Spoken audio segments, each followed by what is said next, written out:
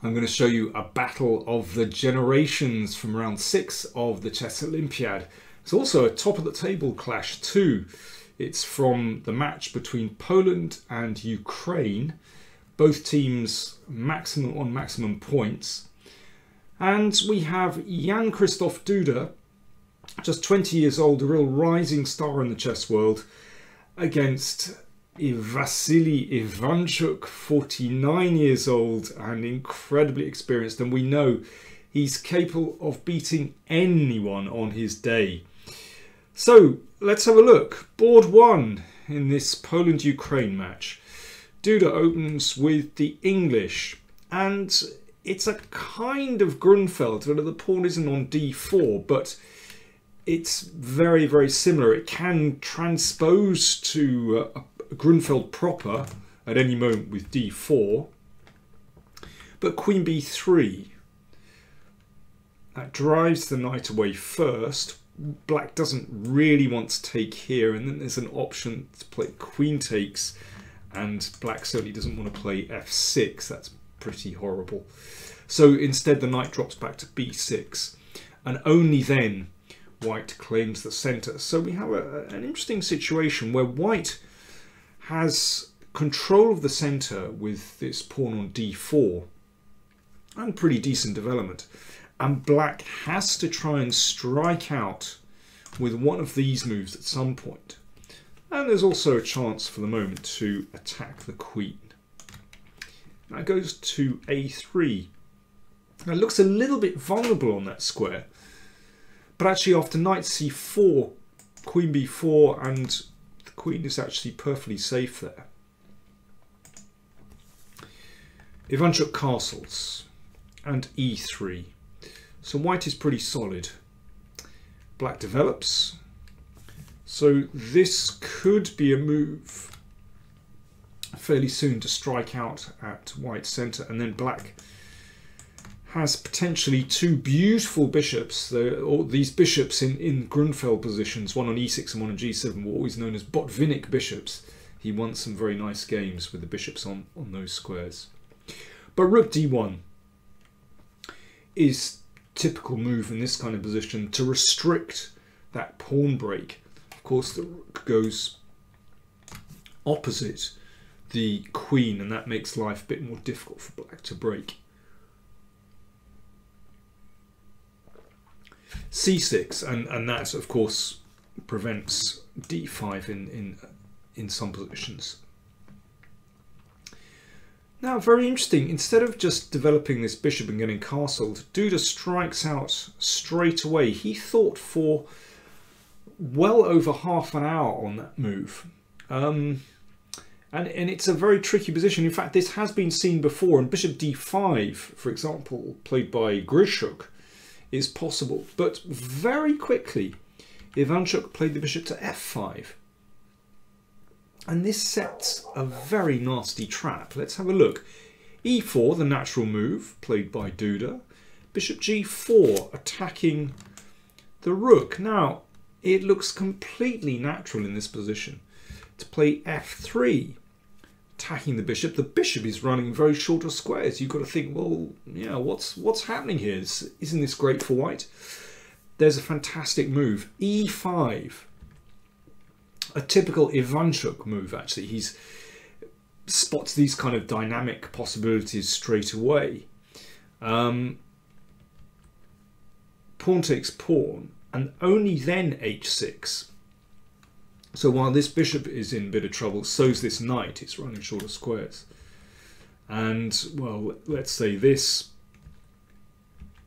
Queen moves. And because e5 has, has been played, then that gives black a superb square for the knight. And black has very good piece play there. You have to think what is happening with the king. Now, that's a very complicated tactical line. Needs great calculation. Um, but let's come back to this position. But f3, definitely a mistake. Uh, Duda realised that and played bishop e2.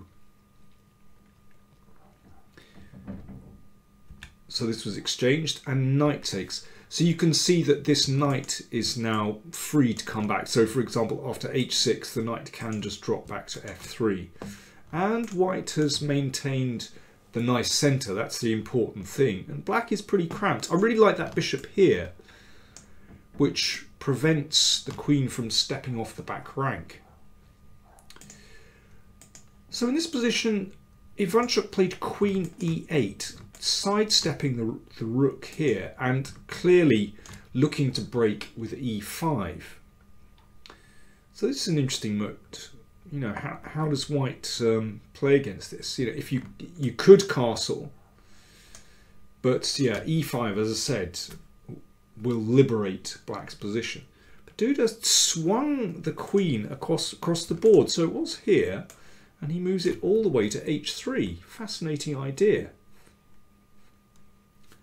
With this knight away from f6, then obviously h6 needs protection.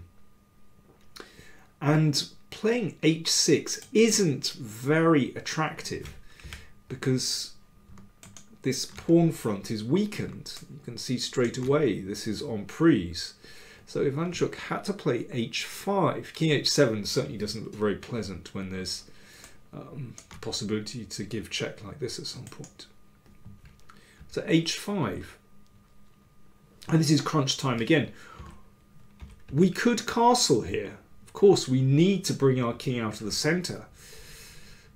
But then e5 and again once this break takes place then actually this solves uh, black's problems. So what did Duda play? Well he played an extraordinary move actually a move which is really anti-positional but is in fact very well motivated. He played pawn to e5 which looks horrible considering that white gives away the d5 square for this knight but the idea is to prevent this break. So, and, and, and it squashes black's pieces. You can see these pieces aren't so good. Um, it's all about restricting black. And, and also the queen doesn't look very well placed on e8 if the break doesn't take place. So you give something, you get something. You give this square, but you've really restricted the rest of black's pieces. And white can use the space advantage to attack. And Duda now really goes for it. He plays g4, so it's just throwing everything at the king now. Really important, uh, because if you're going to give that square away, then you can't mess around. You've just got to go for it. g4. So if this is taken, then that makes room for the h-pawn to advance, or possibly even just dropping back and, and playing knight g5, and getting in on h7. So g4 just played. Ivanchuk found uh, quite a remarkable defensive idea, actually. And, and this is so typical of him, that he, he, calculates so deeply, so sharply. Queen c8, very creative. So the queen, uh, it's hardly imag imaginable that it, it uh, has some kind of bearing on the queen on h3 when there are two pieces uh, blocking that diagonal. But watch what happens if pawn takes pawn. Then knight takes e5 and magically the position is transformed. Because if queen takes queen, then knight takes knight check. And only then recapture here and that's obviously um, winning for black. Let's go back. So after queen c8 here queen h4 from Duda. So he spotted the tactics. And if pawn takes pawn then this is just crushing. Threatens queen h7 mate and then e6 just blows up the position. Once this one goes, then we can check and come here, and it's, it's fatal. So queen h4 still looks really nasty for black, but once again, Ivanchuk found a way to cling on in this position. He played rook d8, and after pawn takes pawn, he just dropped the knight back to f8. So that little shuffle of pieces has actually given him um, a, little bit of room to maneuver. So for example, the queen now it has some kind of influence over this diagonal. Now, tricky choice for Duda actually. Do you advance this pawn? You could play h6, um, but then you have to ask yourself what happens next. Sure, it's good for white, but it's not so easy to break through quickly. So Duda played in a more pragmatic way. He decided to exchange on g6, even though it brings this knight into the game, attacking the queen, and just drop the queen back. But at least now he has a very clear plan. He would like to advance that h-pawn to push away the knight. Queen comes to f5, attacking the bishop, and the bishop drops all the way back to c1. And now this is a strong threat. So, uh, for example, after knight b4, black actually doesn't have time to create counterplay like this because h4 and h5 is just very strong. So Ivanchuk plays king f8 and now h4 and then he blocks with the queen. I think looking at the clock times, I think the players were beginning to run short of time here. And yeah, some of these moves um, are, are, probably not the absolute best, but they're kind of pragmatic moves. Let me explain a little bit. So, of course, you want to shift that queen from h5. So Duda played queen g2 in order to make room for the knight to come to g3. That's one possibility. Could also play rook g1 and if, let's say, c5 to get counterplay, then queen h3, followed by rook g5. It's very hard to know in a game which of these is best. But queen g2 is pretty sensible. And Ivanchuk runs with the king. If knight g3, then queen g4, um, followed possibly by knight f4. Black is still just about in the game. Knight g5 played. Bishop h6. And here I think Duda has a very strong possibility. But in order to play it, you need to calculate pretty well. And I suspect that uh, he didn't have the time to uh, calculate. Um, calculation needs time, basically. And if you're running short of time, then it's you play a pragmatic move. But e6 looks very strong. So for example, if pawn takes pawn, then knight g3, and yeah, this the queen could perhaps come to here. Well, the, the queen is attacked.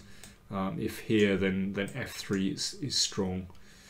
Um, what else we got? Uh, f6, knight comes here. Now it starts to get tricky because um, knight f4. I mean, it, this this should be should be good for white, but uh, there, there's basically a lot to calculate here. Um, there's also queen takes e2 check, and then knight here, which would transpose into an endgame.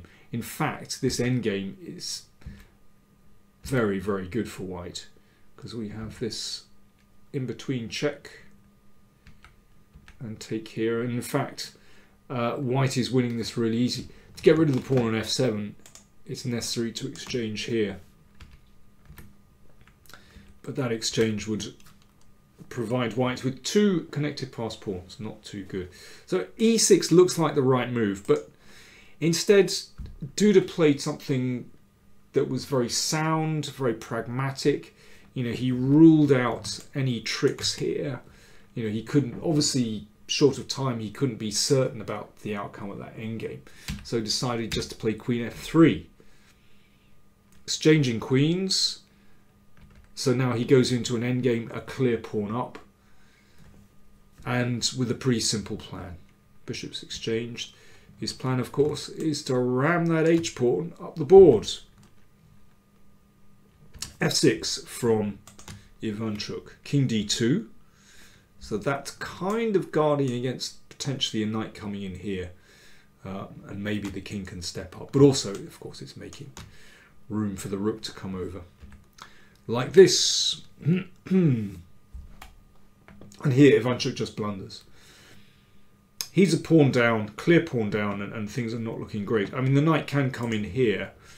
Um, but actually, it's best to, in this position, to not to exchange. That, that knight actually blocks counterplay here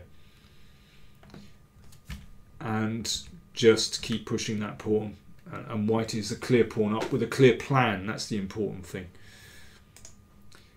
But in the game, Ivanchuk played rook h8, and this lost immediately to e6 check.